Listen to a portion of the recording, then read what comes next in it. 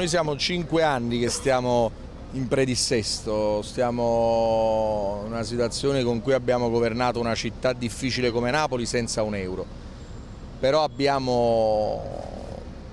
tagliato i costi della politica, abbiamo utilizzato al meglio i fondi europei che sono arrivati nella nostra città e anche grandi eventi che ci sono stati a Napoli li abbiamo fatti con grande capacità organizzativa, con grande attenzione e impegno dei napoletani, con pochissime risorse pubbliche hanno contribuito enormemente al rilancio della nostra città. Io l'ho detto,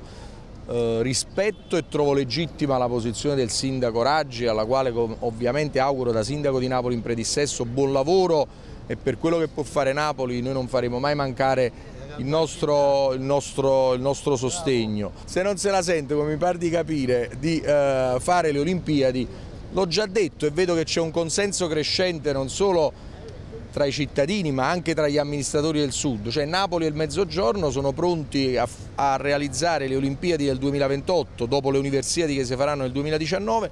con le mani pulite, sapendolo fare con organizzazione efficiente e soprattutto mi piace l'idea delle Olimpiadi della Magna Grecia cioè non solo del sud, del sud della Calabria, della Puglia, della Sicilia, del Mediterraneo, che attraverso lo sport vuole dimostrare che noi siamo popoli che crediamo veramente nei valori della fratellanza, della solidarietà, del dialogo e della pace. Quindi laddove Roma non se la sente, il che è legittimo, o ha paura di essere travolta anche l'amministrazione Raggi dalla corruzione, noi invece siamo come dire, pronti a farlo, come sempre, l'abbiamo detto anche in questi giorni a proposito del ponte, il Sud si sta riscattando nonostante